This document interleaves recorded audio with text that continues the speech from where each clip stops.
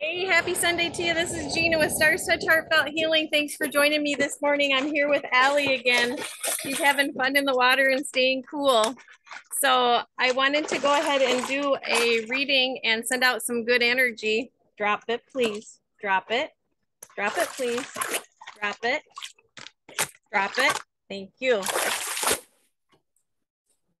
And so it's Mike Dooley, Notes from the Universe, Dwell on What You Love sending out some energy. Asking someone to change is like pruning a tree. Neither will ever be the same again.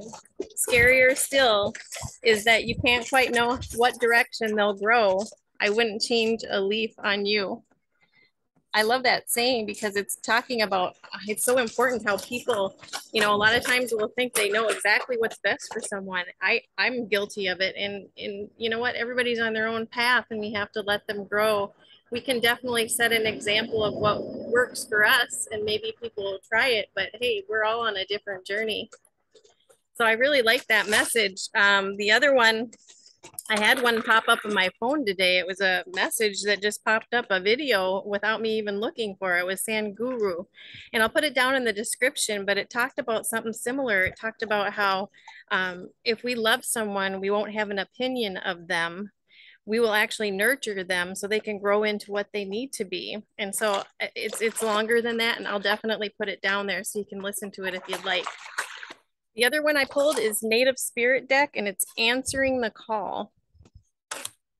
You've been called. It's it's you if you've been waiting for your life to shift the waiting is over your true and authentic life is happening if you've been hoping for a sign this is it right now your spirit guides ancestors and loved ones who have passed on are sending you messages of love and healing. You've been called, and a gateway is opening for communications from the spirit realm. Now and in the days ahead, signs from the spirit will be all around you. Watch for them. The journey. Look for signs. They are all around you. The feather that alights your feet, the penny that mysteriously appears, or the rainbow splashed across the sky may be a sign that spirit is trying to get your attention. Watch your dreams. Messages from spirit are often conveyed in the nocturnal hours. Yes, with this Pisces full moon, we may be getting some good dreams coming in. I dreamt one time of a fabric of the color yellow, and I looked it up and it fit everything that was going on right then for me. So something that simple can really mean a lot. Just Google it and see what it says. It could be a nice message from your angels to help you grow.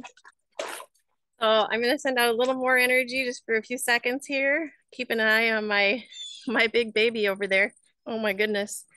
And uh, just reaching for the sky, heaven rushing in, thinking of everything you're grateful for, bringing it in.